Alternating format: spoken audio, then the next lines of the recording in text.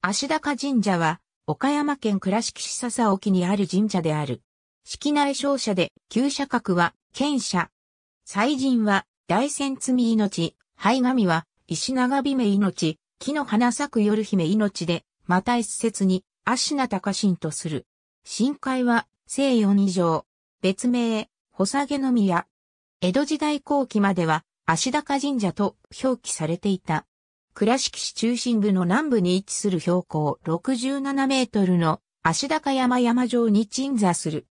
現在は陸続きとなっているが、かつては小竹島、または笹島と呼ばれる瀬戸内海の内小島に切り離された、いわゆる吉備の穴海に浮かぶ島であった。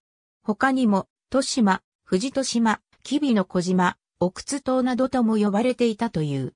足鉱山は、桃山時代から江戸時代前期の間に干拓され、陸続きとなった。江戸時代を通じ岡山藩の師範である鴨形藩の祈願所となり、藩主が変わるたびに参拝した。現在、山上の神社周辺は足高公園となっており、春には桜の花見客で賑わう。小竹島、または笹島と呼ばれていた島であった頃、島の周囲は潮流が激しく、渦が巻いていたと言われている。ここを通る船はすべて帆を下げ、足高の神に航海の安全を祈願したことから、穂下げの宮と呼ばれるようになった。なお、現在の鎮座地の地名である笹沖は、笹島の沖であったことに由来する。ありがとうございます。